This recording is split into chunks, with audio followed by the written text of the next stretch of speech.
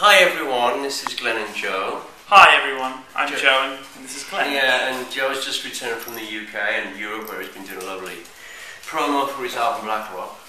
And uh, we're about to write some new songs today. And uh, we're going to have a great time. So thank you.